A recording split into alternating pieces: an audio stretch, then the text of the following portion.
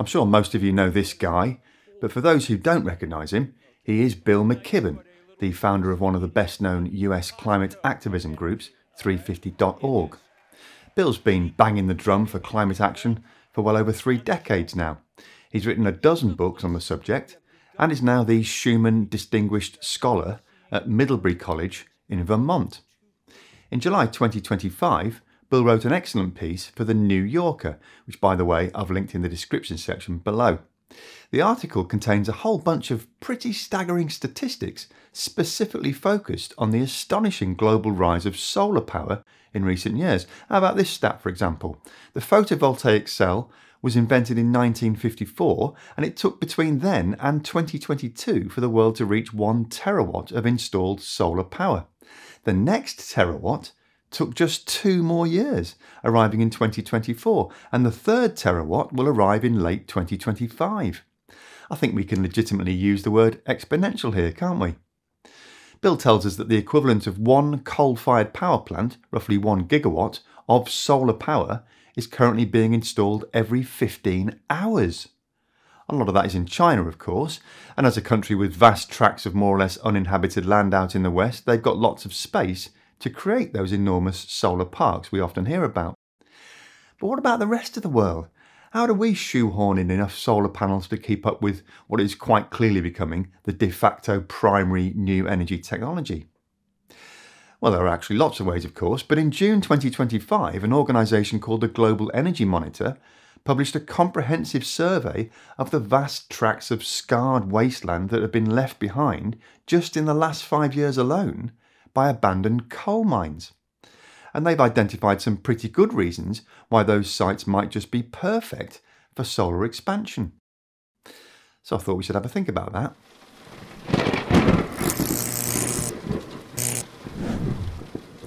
Hello, and welcome to Just Have a Think. So, Global Energy Monitor, or GEM, is a San Francisco based non governmental organisation founded in 2008 with the goal of cataloguing fossil fuel and renewable energy projects worldwide and providing that information to governments, media, and academic researchers in support of clean energy. So they've been doing this stuff for a while now. They tell us that today there are 3,800 mines producing 95% of the world's coal. When a mine gets shut down, it typically leaves behind a large area of degraded and abandoned land that nobody really wants to deal with, but which is often ideal for solar developments. This latest research found no fewer than 300 coal mines that have been decommissioned in the last five years, taking up an area of land the size of Luxembourg. The potential for solar generation at those sites is really quite remarkable. Just very quickly though, if these sorts of videos are your cup of tea, then you'd be massively supporting my ability to produce them each week by clicking the subscribe button and selecting all notifications so you don't miss any of my future videos. Now, when I say remarkable, I mean that the authors of this report found that those 300 sites could support something like 103 gigawatts of solar capacity, and they identified another 127 mining sites that are due for closure in the very near future that could potentially become home to a further 185 gigawatts of solar by 2030. So is that a lot then? Well, based on the stats we saw from our friend Bill McKibben at the start of the video, that sort of rollout would represent about 15% of total global solar capacity in 2024, enough to meet the annual electricity consumption of a large industrial nation like Germany. So I think we can say that's pretty significant, can't we? There's a bunch of really smart reasons for targeting these sites, which we'll get to a little bit later in the video. But I guess the first question might reasonably be, where are they all? Well, unsurprisingly, the GEM data show that there are already 90 operational so-called mine-to-solar conversions in China, with a capacity of 14 gigawatts, and another 46 are in the offing, representing a further 9 gigawatts. But for once, it's not all about bloody China, thank goodness. According to GEM's tracker map, there are abandoned sites all over the planet. A total of 28 countries with recently abandoned coal mines have been identified, with some significant closures in India, Australia, the US, and Indonesia. They've also included a bunch of sites in Russia, presumably just for a bit of a laugh, I don't know, but good luck getting Vlad the Impaler to allow solar panels to go on any of those sites. Anyway, back in the real world and outside of China, it's the four major coal producers that I just mentioned that appear to have the greatest opportunity for coal to solar transitions. Down there in Oz, the GEM team found 1,470 square kilometres of mine sites that could support 73 gigawatts of solar capacity. That would triple that country's total solar fleet. Indonesia's potential is even more impressive. There's apparently enough disused coal mine space spread across the world's largest archipelago state for nearly 60 gigawatts of solar, which would be 100 times more than the nation's currently installed capacity. Meanwhile, the good old US of A stands out for the sheer number of identified sites, following the well documented and rather precipitous demise of that nation's coal industry in recent decades. A total of 217 disused coal mining operations that could offer a combined solar capacity of almost 50 gigawatts.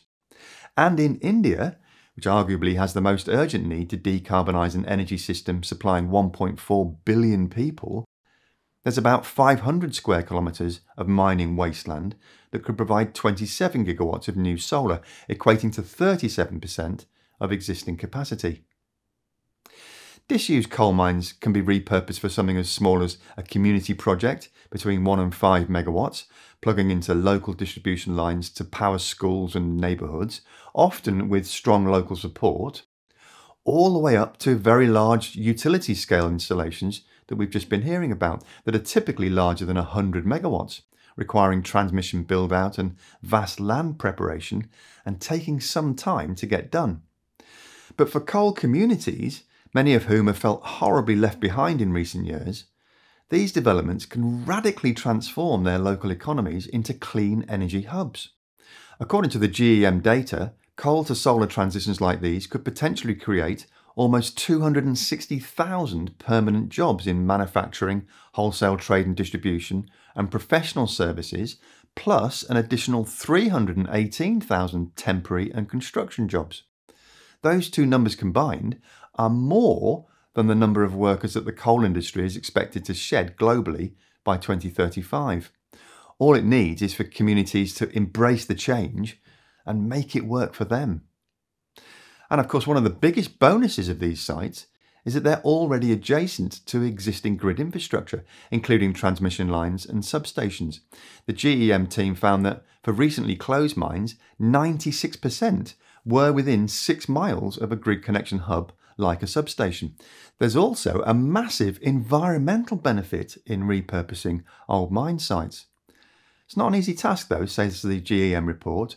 Clearing debris, scrap materials, or remnants of past industrial activity is required before work can safely begin. The slopes of deep surface mines are often unstable and prone to erosion and collapse.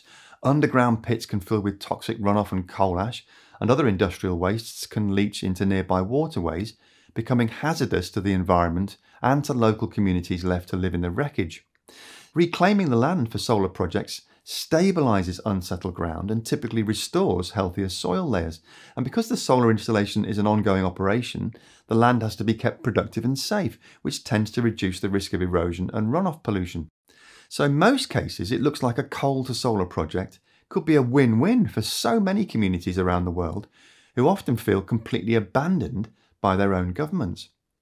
On top of all that, though, there's a less well known but equally significant climate benefit and I'm sure many of you are way ahead of me here, it's methane, or methane if you're in North America.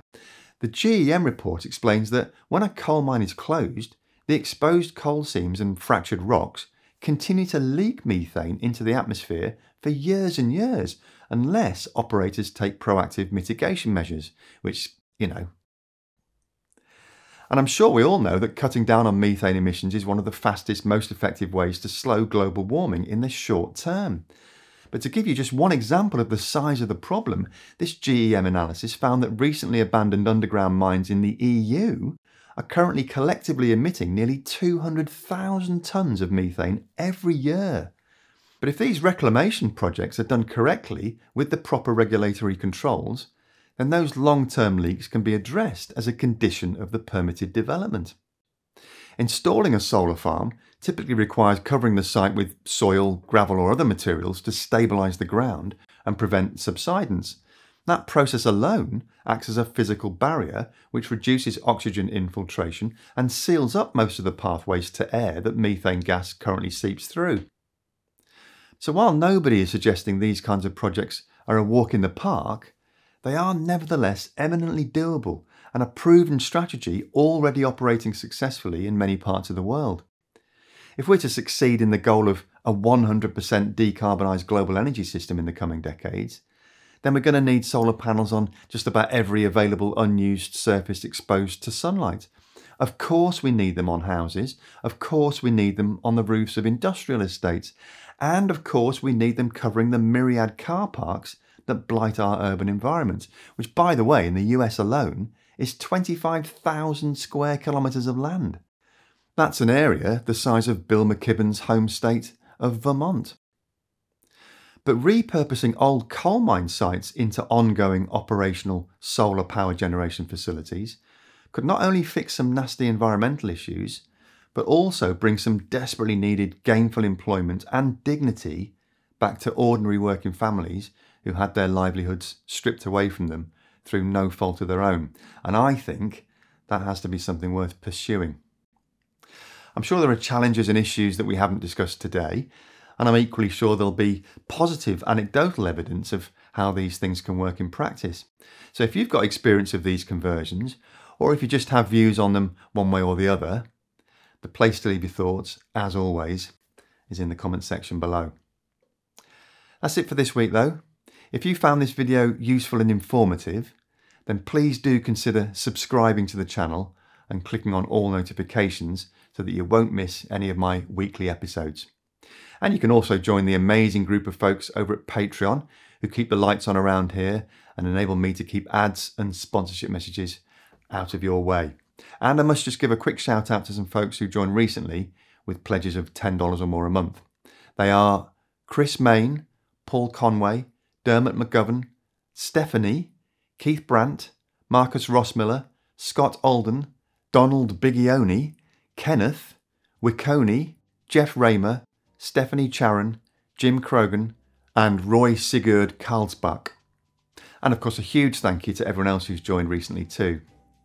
You can have a look at what we all get up to there by going to patreon.com forward slash just have a think, or by following the link in the description section below.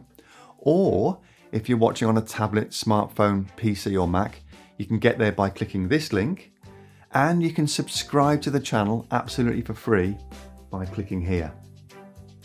Most important of all, though, thanks very much for watching. Have a great week, and remember to just have a think. See you next week.